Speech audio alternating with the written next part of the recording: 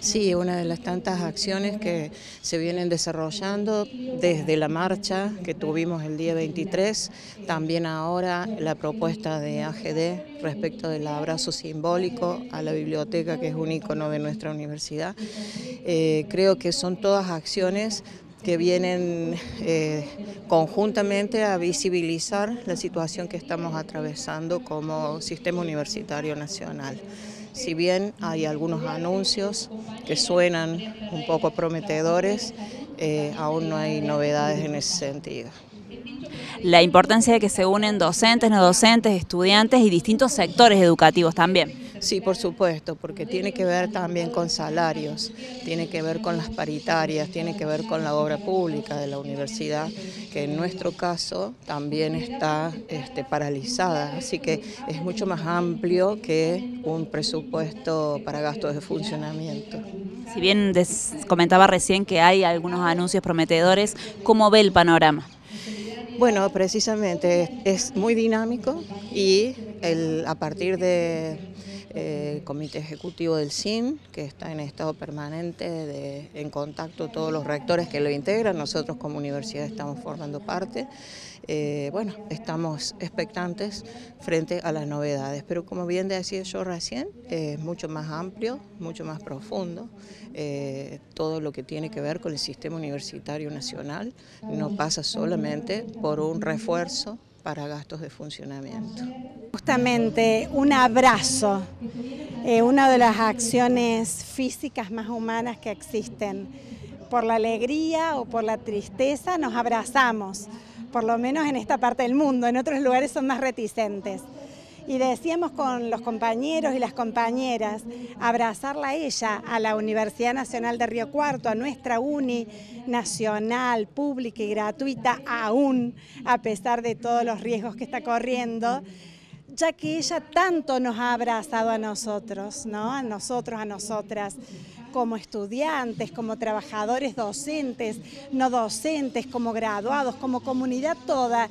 ¿Hemos pensado acaso qué sería de Río Cuarto sin la Universidad Nacional de Río Cuarto? Seguramente no sería este Río Cuarto. Así que como está en riesgo, como está absolutamente todo en peligro, desde el funcionamiento diario de todos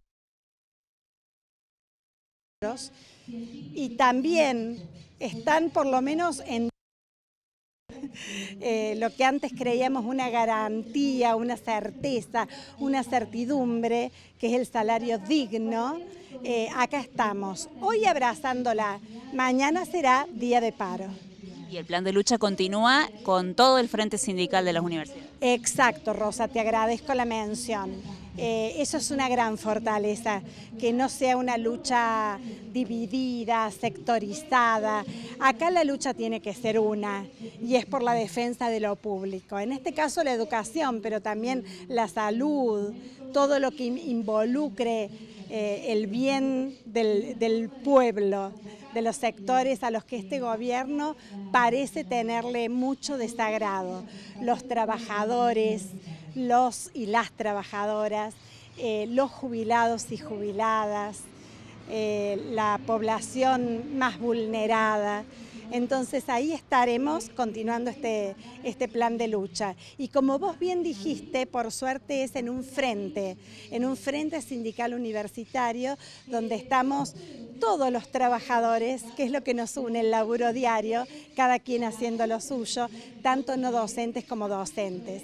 Y un pedido desde lo más profundo de nuestro ser, de trabajadores, porque también hemos sido en algún momento y seguimos siendo eternamente estudiantes. Necesitamos que los estudiantes, que los jóvenes, que los graduados encabecen esta lucha porque es su tiempo histórico. Estaremos respaldando, pero necesitamos esa incorporación. Y realmente creo que esto es una necesidad, una demostración de que lo que dijimos ayer en la paritaria, eh, perdón, en la asamblea, en el cual tenemos que permanecer unidos todos los sectores de la universidad.